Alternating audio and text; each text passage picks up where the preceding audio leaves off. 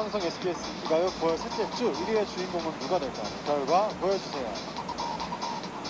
네, 키가요 차트 음악 점수까지 합산한 이번 주 1위는 과연 이번 주 1위는 누가 될까요? 블랙핑크 축하드립니다. 축하드립니다.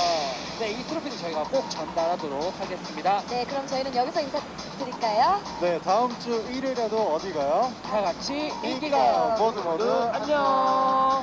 It looks